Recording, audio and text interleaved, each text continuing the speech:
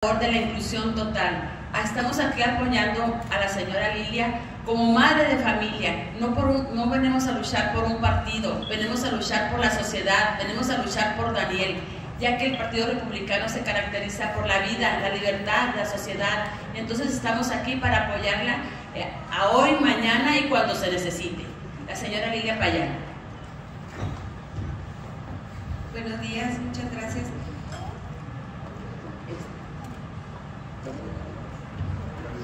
Muchas gracias. Bueno, pues, pues agradezco esta oportunidad. Eh, le he comentado muchas veces aquí a los compañeros del partido que, pues Daniel tiene 24 años, mi hijo tiene síndrome de Asperger y pues durante 24 años he estado tratando de ser la mamá que él necesita, mi esposo, mi, su, hermano, la familia que conformamos hemos trabajado durante todos estos años para darle las mismas oportunidades a Daniel que tiene cualquier otro joven, cualquier otro niño. Este, siempre ha sido una lucha, pues sin nosotros solos, con un grupo de personas a veces muy reducido, quien nos quiere escuchar, quien nos quiere apoyar cuando hemos tenido que dificultades de inclusión en todas sus etapas de educación. Y pues ha sido una lucha muy lenta porque pues porque siempre pues ha sido de uno a uno. Ahora surgió la oportunidad de que personas aquí cercanas conocen a mi hijo y lo invitaron. Mi hijo acaba de terminar su carrera, es ingeniero en ecología, tiene su título por excelencia académica de la Universidad Autónoma de Chihuahua, la Facultad de Zootecnia y Ecología, donde recibió, no saben, todo el apoyo, ahí esa escuela sí es inclusiva y este, los maestros todo, y él acaba de, recibir su título profesional. El problema con Daniel no es intelectual. Daniel tiene muy alto su coeficiente intelectual, es capaz de, redactar una propuesta de ley perfectamente, ¿sí? pero este, su problema es de socialización. La parte de la interacción social es, un, es una discapacidad psicosocial él este, pues batalla para interactuar, él se traba un poco cuando habla, porque según nos dijo siempre su neuróloga que para cuando Daniel quiere expresar tres palabras, él ya redactó 10 páginas en su cerebro y pues está decidiendo cuáles son las palabras óptimas para, para usar, siempre las más complicadas, siempre las más difíciles, pero pues él así las elige, él así se comunica, es excelente para redactar y este, pues obviamente sus calificaciones en la escuela siempre lo hablaron. El problema, le digo, es que mucha gente a veces piensa que, que Daniel es, este, pues no sé, grosero porque él dice las cosas sin filtro. Él todo lo que piensa tal y cual. Y este, pues yo y mi esposo, mi, mi hijo, hemos tratado de ser congruentes con, con él. Digo, ahora que, pues que surgió esta oportunidad y que personas, me digo, afines lo, lo conocen y pues lo invitaron porque por paridad, creo que es, para que, por la cuestión del apartado de discapacidad, porque es una discapacidad, porque él tiene que enfrentar muchas barreras todos los días que no tienen las personas que son este, neurotípicas. Entonces, es una discapacidad, está, está registrado en la Convención para los Derechos Humanos de las Personas con Discapacidad. Ahí viene la, el concepto de discapacidad, que no es el concepto que que generalmente vemos, o sea, hemos avanzado mucho en la discapacidad motora, por ejemplo, en la sensorial, pero cuando era una persona con autismo, pues no tiene rasgos físicos. Entonces, pues la gente dice, no, es que él no tiene discapacidad. Y sí, tiene una discapacidad porque es una lucha diaria para que sea aceptado en la interacción social, porque luego, este, digo, pareciera que, que está siendo un joven grosero, que está siendo un joven maleducado, o porque hace un comentario, este, a veces le dice, ahorita me decía que una señora traía sus labios, su, sus dientes mal, pintados con, con lápiz labial y que y le dijo, oiga, ya se fijó, y luego le dice a otra persona, es que no se debe decir. Digo, bueno, fíjense, todos pensaríamos, ¿cómo le vas a decir a una persona así? Él lo dice y la persona se lo agradece. O sea, él no tiene filtro para decir ese tipo de. Algo tan sencillo como eso. Bueno, pues el partido le dio la oportunidad, nos dio la oportunidad a nuestra familia de que, pues, de que más personas escuchen la voz que nosotros hemos tratado de, ser, de que sea escuchada durante muchos años y que pues ahora parece ser que hubo muy buena respuesta y que ahora mucha gente se está interesando. Primero que nada que conozcan sobre el autismo, que conozcan este, en particular el, el, 18 de febrero fue el día del Asperger, hubo mucha respuesta también, pero luego me doy cuenta que, que hay tanta desinformación y que, este, que es importante que más gente conozca, que más gente sepa del autismo. ¿Para qué? Para que esas barreras sean cada vez menos. Entonces, pues esta oportunidad de que el partido le da a Daniel, de que él este, encabece la, este, pues el trabajo para que autismo sea, sea visible, que las personas con autismo se visibilicen y que ustedes nos ayuden para que todas esas personas, a través a lo mejor de, de la representación de Daniel, pues puedan tener también las mismas oportunidades. Todo lo que nosotros logremos, lo que Daniel logre, este, va a repercutir en todas esas personas que tienen autismo. Estadísticamente, de cada 115 personas hay una persona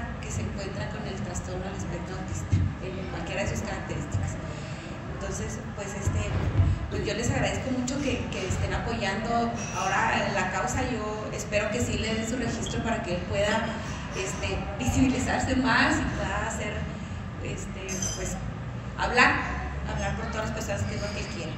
¿sí? Daniel, este, como les dije, se le complica la socialización, él no quiere que le tomen fotografías, él ya se tomó una fotografía y él, este, sí puede sentirse un poco presionado si se le acercan todos, entonces este, les pido por favor que, que respeten esa parte hoy está en esa situación. Yo creo que la práctica que le va a participar con ustedes, con todos ustedes, lo va a hacer, de eso se trata. O sea, imagínense la oportunidad que él va a tener de interactuar. Nosotros siempre le buscamos escenarios donde tiene que interactuar, donde lo forzamos a interactuar. Pues este va a ser un enorme escenario donde él va a tener poco a poquito la oportunidad de desenvolverse un poquito mejor. ¿Sí? Entonces, pues muchísimas gracias.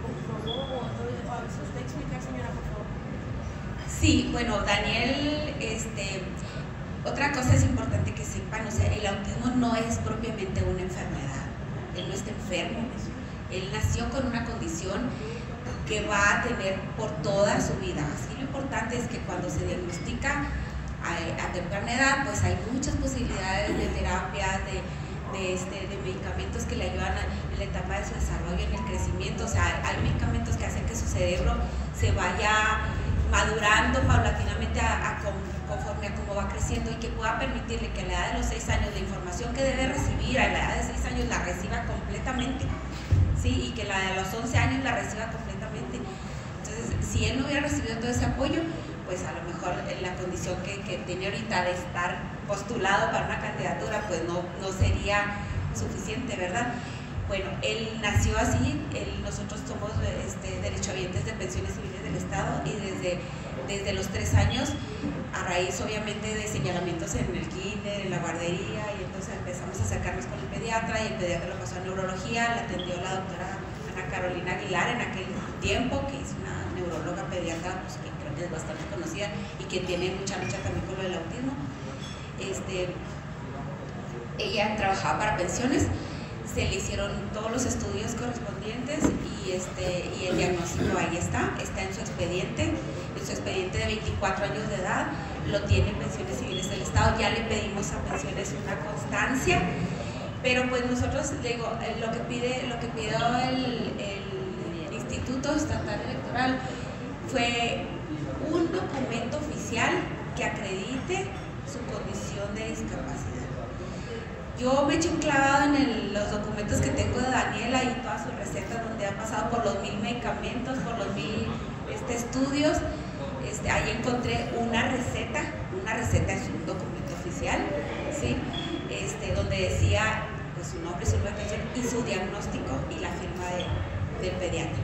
Pues creímos nosotros que pudiera ser suficiente porque pues es un documento oficial y se lo anexamos a la solicitud y pues ellos dicen que eso no es un documento oficial o que no presentamos, entonces ya lo pedimos en pensiones, quiero que sepan que también en pensiones estuvieron muy abiertos a escucharnos, nos, este, nos van a emitir en esta, en esta semana ya, ya ahorita ya no, hoy yo creo que no, pero el lunes ya vamos a tener la, una constancia ya de pensiones civiles del Estado formalmente, donde este, acredita su condición para que si, si el instituto la requiere como tal, pues ahora sí ya la van a tener.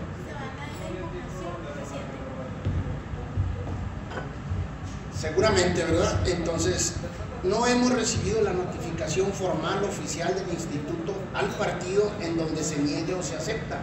Todavía no la tenemos. Anoche, todavía a las 2 de la mañana, nuestro representante ante el IE nos dijo que ya se había dado una apertura en el sentido de que podrían aceptar la candidatura de Daniel. No hemos sido informados de manera oficial.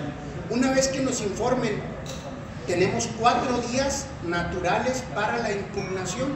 Entonces, si la señora, obviamente vamos a pasar por el filtro de la señora, México Republicano estará acompañando en todas las decisiones a la señora. Si ella decide, si ella decide que vayamos a impugnar, vamos a impugnar. Si ella dice que la siguiente parte es interponer sendas denuncias por discriminación, que yo creo que es un asunto de que los consejeros electorales se mostraron insensibles, ¿verdad? es lo que nosotros alcanzamos a ver. ¿Por qué? Porque es un asunto práctico, es un asunto en donde Daniel estuvo antenoche, antenoche a las 12 de la noche, a la medianoche, estuvo exponiendo ante los consejeros y obviamente yo creo que si, si, si ven a Daniel, si ven cómo se expresa, no es un asunto que sea sencillo por, es un asunto de peritaje médico. Entonces, aquí el asunto es si ellos no lo ven en, primera instancia, pues yo creo que es un asunto de insensibilidad. Entendemos la parte de la presión que traen con todo el Estado, con todo este desorden que se trae por el tema de las candidaturas, de que las cancelas, de que las sustituyes, y en donde aprovecho para decirles a México Republicano le fue muy bien en términos generales. Tenemos preautorizadas 38 candidaturas a municipios, tenemos preautorizados 22 candidatos a diputados locales y tenemos preautorizadas la fórmula de seis candidatos plurinominales en donde pues obviamente encabezo la, lista y aprovechamos para qué, pues con nuestros candidatos a diputados que se encuentran aquí por parte de la capital, obviamente nos da ya esa bandera para poder encabezarla una vez que estemos en el Congreso y generar leyes. Y lo primero que decía y nos pedía anoche la familia de Daniel, en el sentido de lo primero que vamos a proponer, la primera iniciativa de ley de México Republicano será modificar la ley de pensiones civiles del Estado. Eso es lo que vamos a hacer, eso es lo que nos vamos a comprometer, pero no solo eso, la condición que tiene Daniel, sino todos los que padecen estas condiciones, no solo Daniel, sino todas las discapacidades, y es esa lucha social que encabezará México Republicano Chihuahua. Soy García del Puntero de Informe 24. Eh, no sé si me puede dar su opinión respecto a este proceso que se ha estado llevando a cabo en el INE, en el IE, en donde este, fue muy criticado la tómbola que se hizo. Bueno, primero, eh, para poner en contexto, normalmente en cada proceso, cuando te pedían y hacían la solicitud de registro, tú como partido reunías los documentos e ibas y los entregabas y te daban un acuse de recibo. Entonces estamos hablando, nosotros registramos aproximadamente 1.200 candidatos en todo el estado, titulares y suplentes. Entonces, hay unas reglas, hay, hay condiciones, hay criterios para poder ingresar esto. Y por primera vez, esto, los registros, tú ibas como partido político e ingresabas los documentos y ellos te los calificaban. Entonces ahora implementaron un sistema digital en donde toda la carga, toda la carga del registro corrió a cargo de los partidos políticos, todos. En un asunto, en una asamblea, en una reunión del Consejo, obviamente acompañamos esta decisión porque creímos que era más práctico cuando nosotros nos encontramos el nivel de dificultades, porque de repente se caía el sistema, eran 3, 4, 5 horas que se iban y no podías empezar a cargar.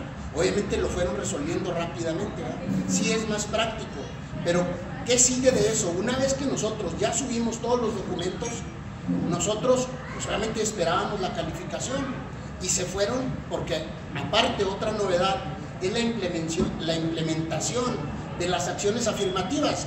¿Qué son las acciones afirmativas?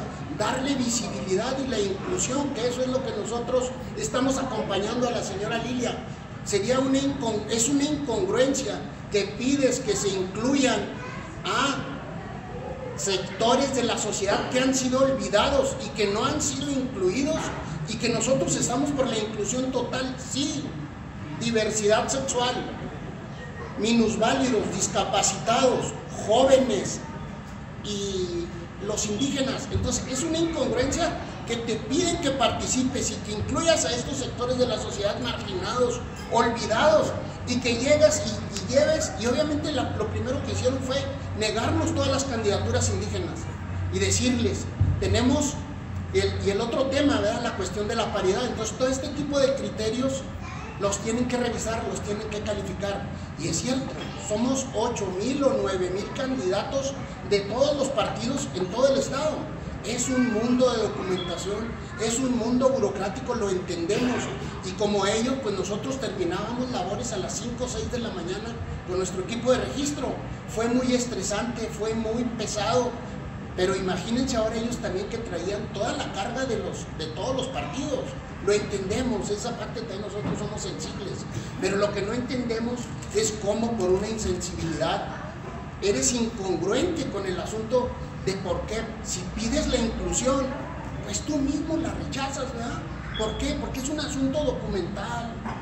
Nosotros ingresamos al sistema todos y cada uno de los registros con la mayor calidad posible. Fueron un grupo de muchachos jóvenes que integran el área de registros y obviamente por la frescura de ellos, por su apertura mental, por su tranquilidad, por sus conocimientos, todos saben de computación, todos saben de sistemas, y eso nos ayudó muchísimo. Cinco gentes teníamos para ese trabajo, para mil gentes, más de mil registros. Entonces, yo la verdad creo que hicieron un trabajo maravilloso, estamos muy agradecidos con el área juvenil del partido, que se especializaron, se capacitaron previamente para ello. Duramos 12 semanas, 12 semanas, duro y dale, duro y dale, todos los días, hasta altas horas de la madrugada, y solamente la fuerza, la capacidad y la fortaleza de los jóvenes era lo que nos podía llevar. ¿Por qué? Porque nosotros podíamos estar a las 11, 12 de la noche y ya estábamos bloqueados, estamos hablando de esta narrativa de los registros. Pero eh, eso es lo que yo creo, eh, creo que es un asunto de insensibilidad y estamos esperando la, definición o que nos den la definición ya formal de si aceptan o no aceptan ese asunto del, de los registros. ¿Por qué? Porque hay otras observaciones en, todo el estado, en otros municipios, pero preautorizados ya tenemos los 38 municipios que subimos. ¿Cuántos vamos a impugnar? Eso lo estaremos viendo con nuestros operadores en cada municipio. Adelante, muchas gracias. ¿Alguna otra pregunta?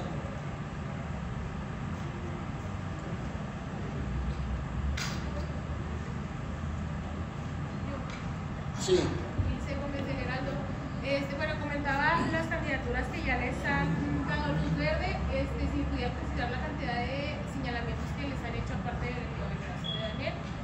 La, la mayoría es que les falta un documento, una constancia de residencia y podemos ver que la INE es uno de los documentos que acredita el domicilio. ¿verdad? De hecho, es más que nada en ese sentido.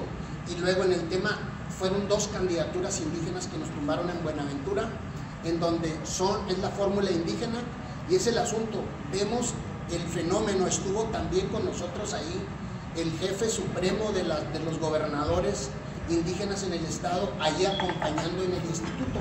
Propiamente él no es, él no es miembro de México Republicano, pero acompaña porque le pedimos a él, platicamos previamente con él y le decimos este tema de la inclusión y obviamente ellos estaban muy contentos.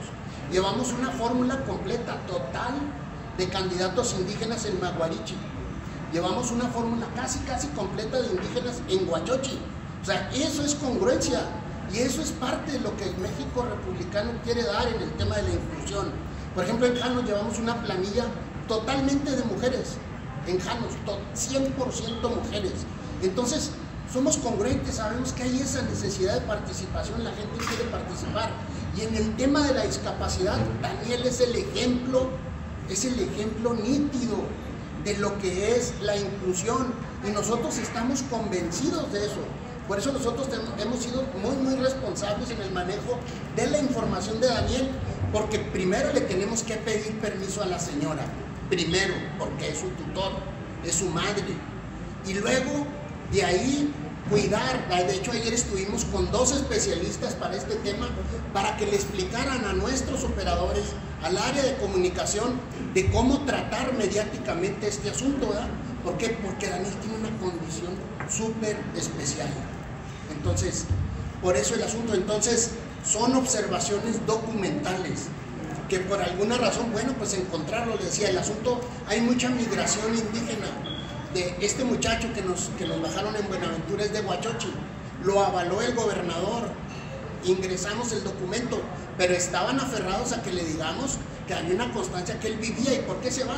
Buenaventura, el Valle de Buenaventura es un área agrícola, es un área agrícola y hay una migración, no hay trabajo en la sierra y ellos se van a donde hay trabajo.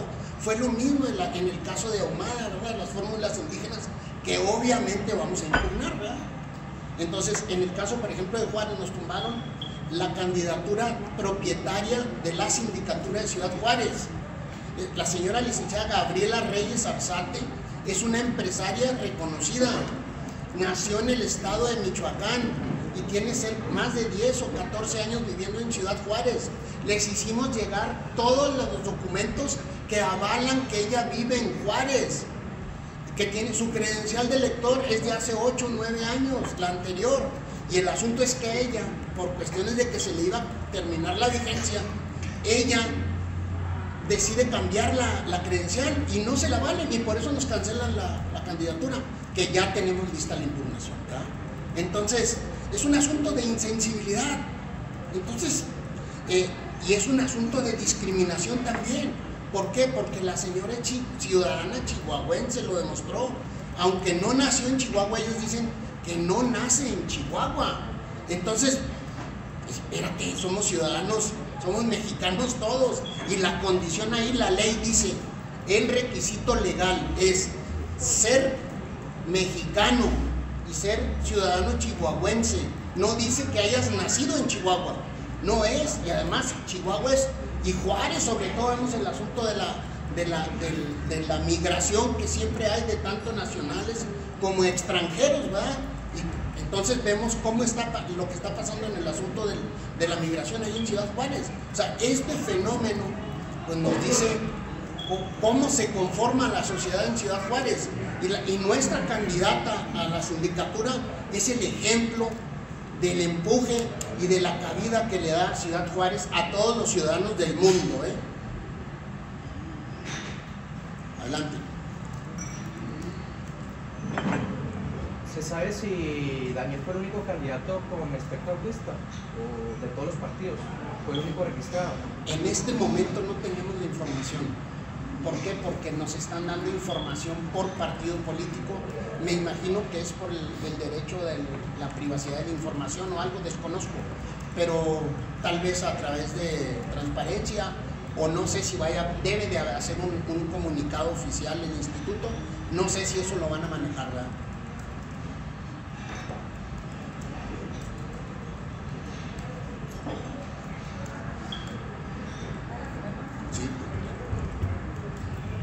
les, voy a dar una tarea. ingresen ahí al, internet y consulten la Convención para los Derechos de las Personas con Discapacidad, que es un documento que está por encima de cualquier ley nacional en la que viene bien claro el concepto de discapacidad, el nuevo concepto de discapacidad. Ahí viene en el preámbulo y en el artículo número uno de la Convención para los Derechos de las Personas con Discapacidad. Pueden entrar, ahí hay un link, ahí comparto el link los lleva directamente a una página del gobierno federal y ahí viene el, documento.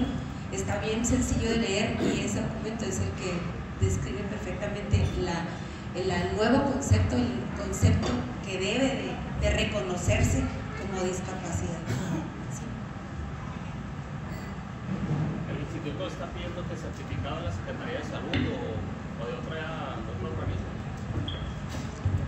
Daniel tiene, bueno, yo creo que eso lo debe explicar, igual la señora, eh, pero yo creo que debe hacer hincapié en que durante meses estuvieron pidiendo eso y una vez que se hace la presión y con el apoyo de los medios de comunicación, de las redes, realmente ayer la reacción de pensiones civiles fue totalmente diferente. Entonces platíquenles esa parte. Lo que pasa es que les voy a platicar otra cosa.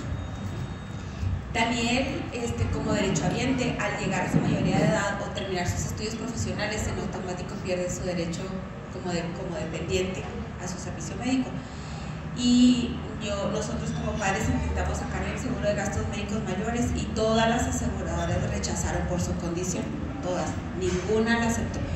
¿Qué pasa? Se queda en una condición de indefensión, porque ni, ni su ni su, este, su derecho de este, por, porque así está la ley de pensiones, ¿verdad? Entonces, ¿qué hicimos nosotros? Pues eh, fuimos a pensiones, solicitamos que le extendiera por su condición su servicio médico, ahorita tenemos un amparo, ahorita el pensiones nos concedió, gracias a Dios tenemos ahorita su servicio médico vigente y pues esperamos que lo mantenga y estamos este, ante otras instancias desde hace tiempo este, haciendo un trámite para qué, para que se le reconozca su discapacidad de por vida y que pueda mantener su servicio médico de por vida, de pensiones. ¿sí? Entonces, pues ese es por, la, por lo que nosotros hemos iniciado, iniciamos este procedimiento y pedimos los documentos, ya los habíamos pedido, y este pues coincidió que, que surgió esta oportunidad y pues ahora ya se agilizó todo, ahora sí ya nos va a dar el documento que para, nos va a servir para ambos lados.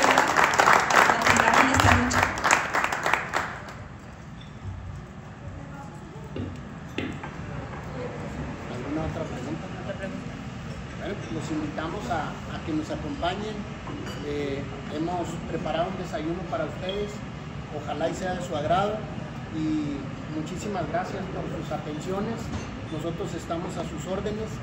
Eh, creo que le pido a la señora, nuestra candidata a la presidencia municipal, la licenciada Isla Sánchez, que pues, haga esta invitación formal. Los invitamos a que nos acompañen a desayunar. De antemano les damos las gracias por acompañarnos y recalcarles que México Republicano es un partido que quiere servir y servir con responsabilidad. Y vamos a apoyar a la señora, repito, a la señora Lilia Payán cuanto sea necesario hasta el final. Muchísimas gracias por estar aquí.